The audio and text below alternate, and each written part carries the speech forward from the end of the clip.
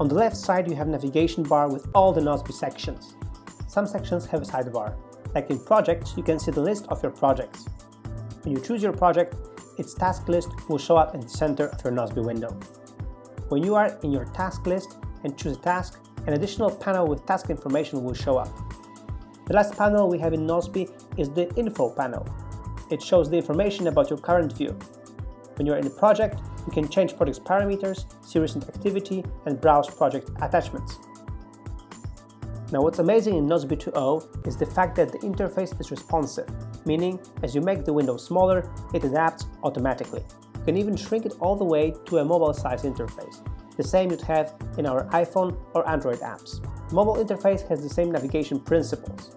Navigation bar, sidebar, main task view, task information, and in this case, project information.